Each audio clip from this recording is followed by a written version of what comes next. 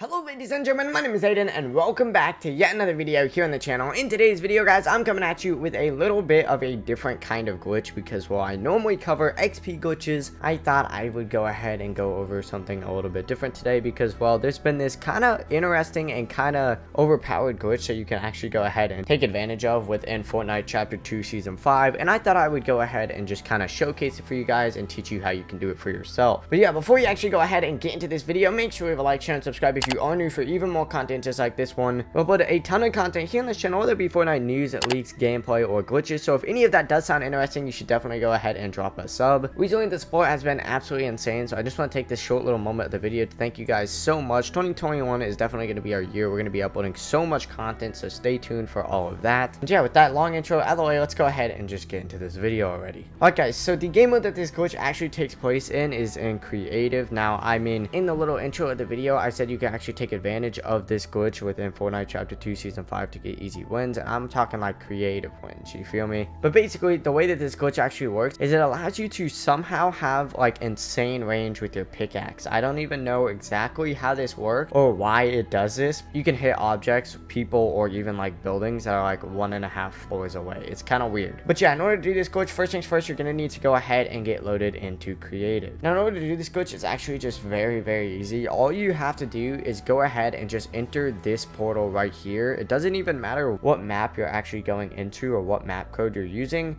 as long as you're entering it through this portal. As you can see, I went into one of the Halo custom maps that me and Ryan played quite a long time ago, and well, as you could see right here, by just me building around and pickaxing, my range is absolutely insane. As I said earlier, it's like one and a half floor pieces away you can hit any object. It's really weird, and I'm not exactly sure why you do this. But as you can see, it only works in this portal because right now I'm actually going into a different portal right here, into a different map as well, just to prove. And look, it isn't working. Now, I don't really know why it's just this portal. I'm not really sure if anyone so far knows, but you know, I thought I'd just go ahead and showcase it and teach you guys how you can do it for yourself. So you can use it in box fights, zone wars, or whatever you guys are playing at the time. But yeah, that's actually going to go ahead and wrap it up for this video. I know this one was kind of short. I might upload another video later today, and I might have a video going up on my main channel.